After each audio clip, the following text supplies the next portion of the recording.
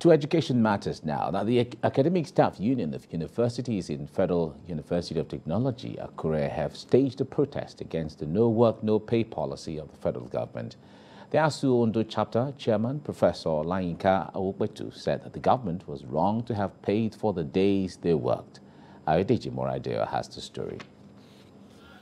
For eight months, university lecturers went on strike over federal government failure to fulfill agreements earlier reached with them. Social and academic activities on university campuses were paralyzed, leaving the students to bear the brunt.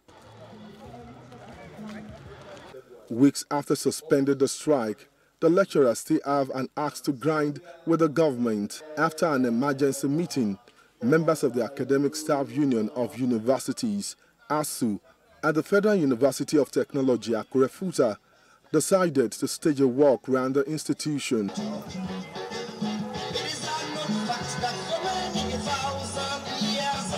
The lecturers who were joined by the leadership of the Nigeria Labour Congress, NLC in the state, frowned at what they called continuing casualization of workers in the university.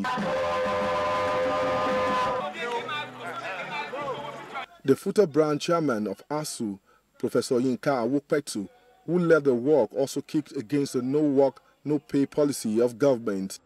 Let everybody know that ASUU in general and ASUU Futa in particular is condemning in its entirety the casualization of academics and the criminalization of the illegal strikes.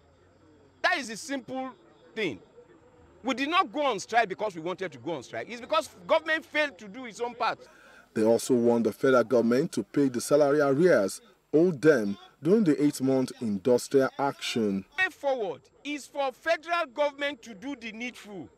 Pay us our money.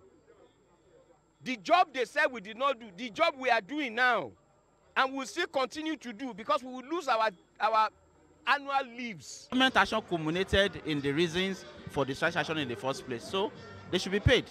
We agree that they should be paid. They cannot come out and tell us that they have the right to pay fragmental payment on the issue of no work, no pay. These lecturers are determined to ensure that the federal government pay them what they were owed during the strike as they are not willing to boycott classes. Ayodeji Moradeyo, TVC News, Akure.